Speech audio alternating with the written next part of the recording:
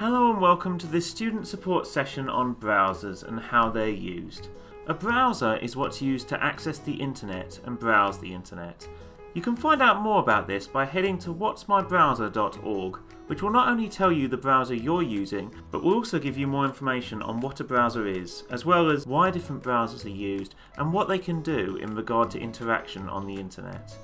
When it comes to Canvas, unfortunately Internet Explorer is not supported, which means another browser might need to be downloaded or used. There are quite a few of these, and by googling one of the names, you'll find them at the top of the search results. Here you can download these apps.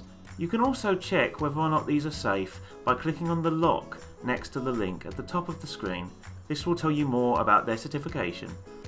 From Safari to Chrome to Firefox, there's a wide range on offer and each one has different abilities to suit your needs. For more information, follow these links or head to the description below.